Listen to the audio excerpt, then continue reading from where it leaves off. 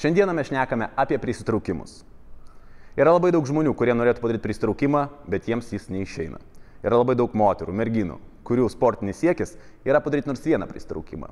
Todėl šiandieną aš jums parodysiu įvairiausias pristraukimų progresijas, kurių pagalba jūs sustiprėsite ir padarysite savo pirmąjį pristraukimą. Tai štai, pirmasis pratimas yra kabėjimas ant skirsinio. Norėdami padaryti nors vieną pristraukimą, mes turime sugebėti išlaikyti savo svorį kabėdami. Tai mums reikia sustiprinti šiek tiek uh, savo dilbius ir tai padarysime mes tik tai kabėdami ant skirsinio. Uh, pradėkite nuo 2-3 sekundžių kabėjimo ant skirsinio iki tol, kol galėsite iškabėti iki 30 sekundžių. Kaip tai daros? Mes sušokame ant skirsinio, įtempiam sėdmenis, įtempiam presą, stengiamės neišsilenkti. Taip atrodo kabėjimas. Venkite tokių visokiausių išsilenkimų. Kūnas turi būti tiesus. Kai padarote kabėjimą ant skirsinio, antras pratimas, kurį jūs darysite, tai yra menčių aktyvavimas. Tai reiškia, kai mes kabame, rankos mūsų išlieka visiškai tiesos, bet mes judame, sutraukiame, sakykime, įtempiam mentės ir nusileidžiame. Taigi, kaip tai atrodo?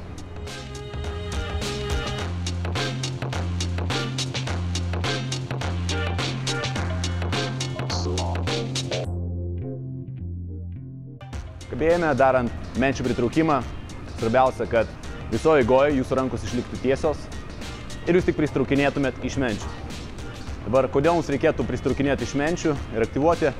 Todėl, kad mūsų prisitraukimas prasideda būtent nuo menčių sutraukimo.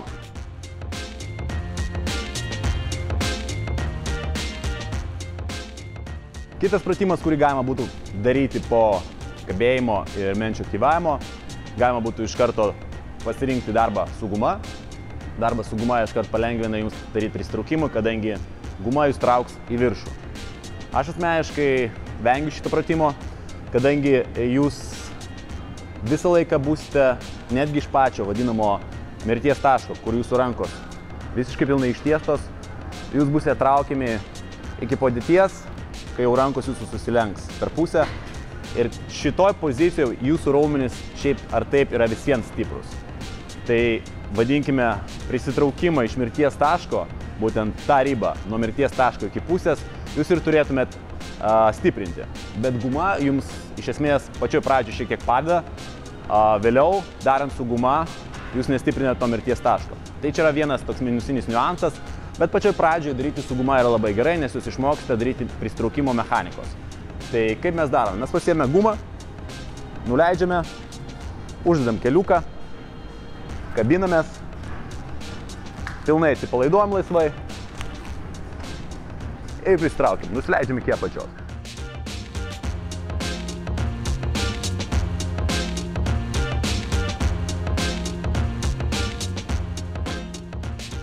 Kaip ir minėjau, nesu gumos gerbėjas, todėl aš dažniausiai visiems rekomenduoju daryti prisitraukimus su užšokimu.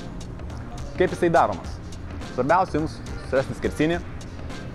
Ir kitas dalykas, tai kad ištiesus rankas, skersinis būtų per vidurį dilbę. Šiuo a, pratimo metu jūs automatiškai išmoksite judesio mechanikos ir galutiniam taške trauksitės iš nugaros. Kaip jis atliekama?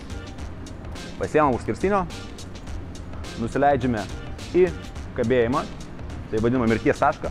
Iš tos pozicijos mes šoksime į viršų ir pristrauksime. Ir pilnai nusileidžiu į apačią. Šokant būtina prisitraukti ir užlaikyti pusę, iki, iki, e, pusę sekundės iki sekundės viršuje. Ir tada nusileisti. Uh, yra du variantai darimo. Vienas variantas darimo, uh, kad jūs pasileidžiate iš karto į apačią iki tai vadinamo mirties kabėjimo. Antras variantas, kad jūs šiek tiek naudojate nugaros pasipriešinimą. Tai reiškia, nepasileidžiate taip staigiai į apačią.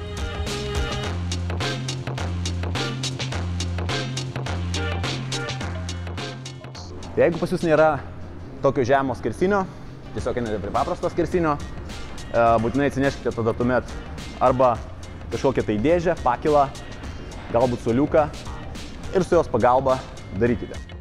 Patį pristraukimą galima vystyti dviem būdais. E, pristraukimas yra traukimas. Tai ar mes trauksime horizontaliai, ar mes trauksime vertikaliai, mūsų platusis nugaros raumuojas visą laiką dirba. Taigi, norint prisitraukti kažkiek tai kartų, bent jau tą vieną kartą, mums reikia būtinai sustiprinti nugaros plačiuosius raumenis. Sekanti progresija tai yra pristraukimai prie štangos arba pristraukimai prie žydų. Nepriklausomai, ar jūs turite žiedus, ar jūs turite pakabinamų diržų sistemą, galite daryti šitą pratimą. Taigi, pirmas pratimas - tai pristraukimas prie štangos. Kaip jūs pristraukinėsite, viskas priklauso nuo jūsų, yra keli niuansai. Yra palengvintas niuansas, tai kai yra jūsų kojytės sulenktos, klubas pakeltas, sėdinys įtempti ir kojytės visiškai tiesios.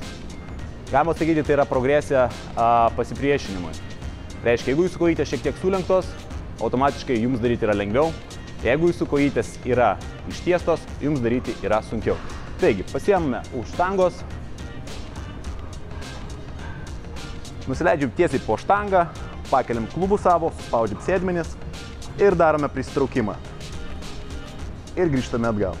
Prisitraukiame krūtinę iki štangos ir grįžtame atgal. Sunkesnis variantas, kaip aš minėjau, yra ištiesiam kojytes ir prisitraukiam ir grįžtam atgal. Kūnas visiškai tiesus kaip styga.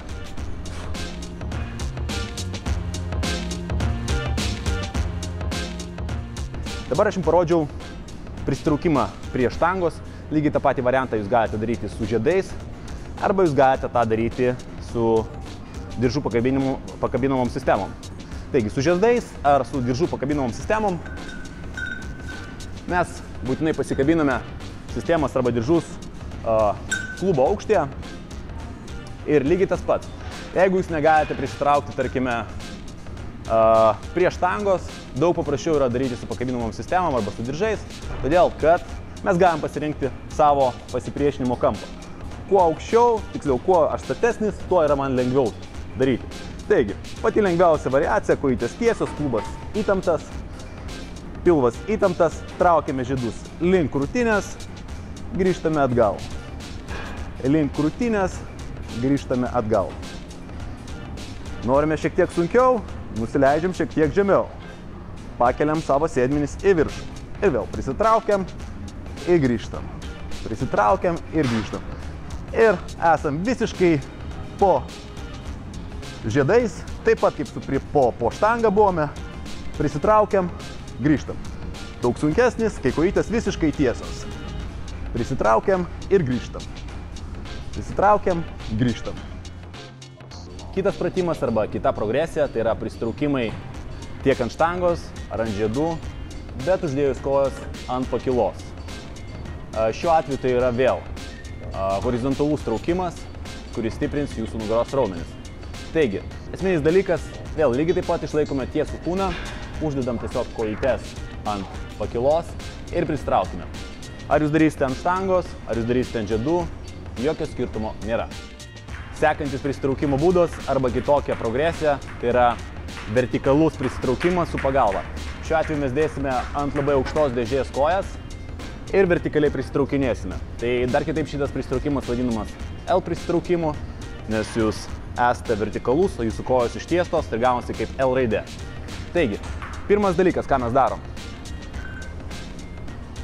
Uždedam kojas ant pakilos ir nuleidžiame savo sėdmenis į apačią.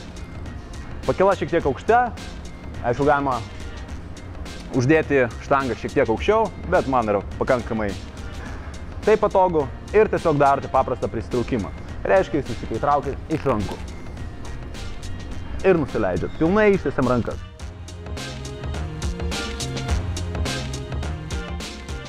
Šis pratimas yra lengviau negu paprastas pristraukimas vien tik todėl, kad jūs eliminuojate dalį savo kūno svorio, kurį jūs uždėte ant dėžės.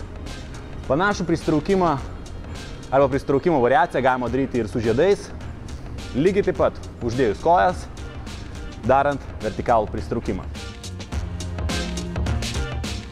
Sekanti pristraukimo progresija, tai yra progresija prisitraukiant su suoliuko, dėžės ar kažkokios tai pakilos pagalba. Jūs dadate savo kojytės atgal, kavate tiesiai ant skersinio, tai vėl mes turime uh, vertikalų traukimą. Taigi, pasiemame už skersinio, padedam savo kojytės atgal, ant pirštų galų, esam pilnai paleidę savo svorį ir traukimės. Jeigu yra sunku, šiek tiek padedam kojytėmis ir grįžtame atgal.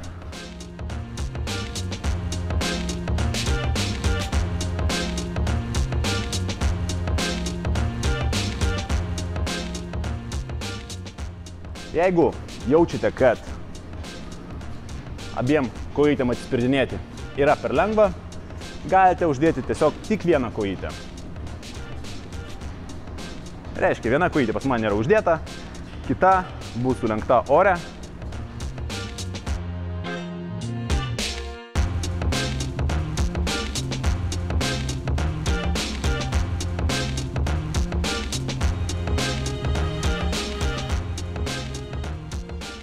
Sekantis pratimas arba sekanti progresija prisitraukimams tai yra negatyvūs prisitraukimai, kurie atliekami nuo skersinio leidžiantį žemyn su pasipriešinimu.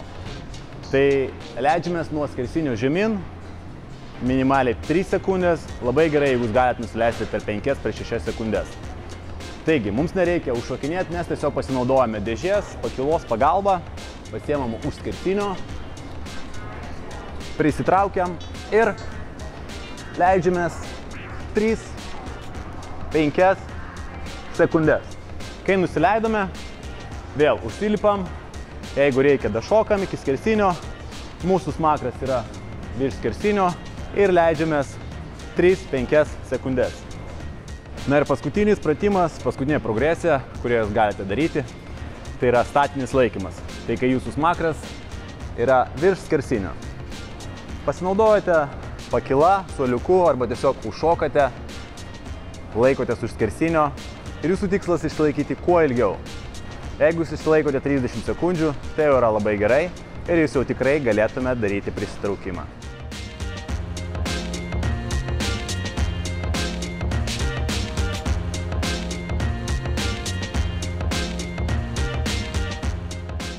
Tai štai, bičiuliai, visos pristraukimo progresijos, kurios jums padės padaryti pirmąjį senai lauktą pristraukimą.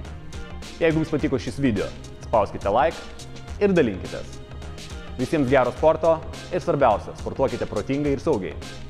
Ir iki greito.